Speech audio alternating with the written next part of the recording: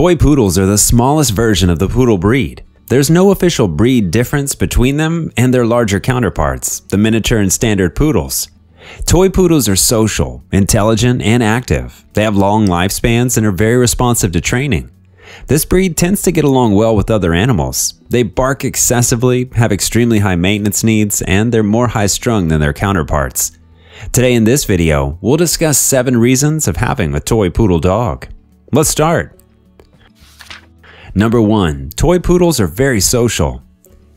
Toy poodles are very social animals. They love being around their humans and will pick one person in the family to bond with. They will form an incredibly strong bond with that person for the rest of their lives. There's enough love to go around. With their larger than life personalities, toy poodles are a joy to have around the house. Number 2. Toy poodle is one of the most intelligent breeds in the world. Though this is a less well-known trait, poodles are extremely smart dogs. They come in second to border collies. Naturally, this means that you have an added responsibility, not only to exercise their physical form, but their minds as well. Number 3. Toy poodles are active. Toy poodles have a square shape with legs as long as they are wide. Coupled with their background as water dogs, they are graceful and agile in their motion. Just because they are tiny doesn't mean that they do not need as much exercise. However, it means that they can use a lot of energy in the house when you're unable to go outside. Number 4. They have a unique appearance. They have a distinctive single layer of hair. You may be used to seeing them at shows with fancy clips. However, it is perfectly fine to clip their hair at the same length all around. It's called a puppy cut.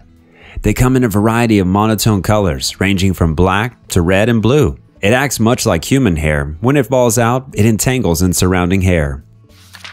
Number 5. They require a lot of interaction. Toy poodles are not built to be alone for a long time. Since this size is predisposed to anxiety, being away from your doggy for too long will often create undesirable behavior problems like separation anxiety. This breed needs to interact with you or some family member for the majority of the time.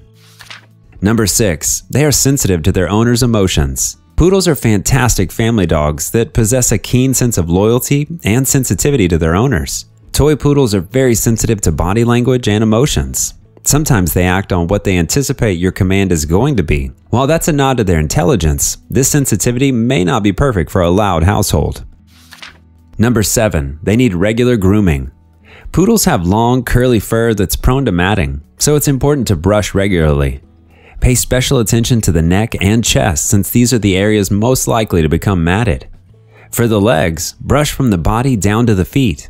In addition, toy poodle dogs need regular bathing and brushing, and their coat should be clipped every six weeks.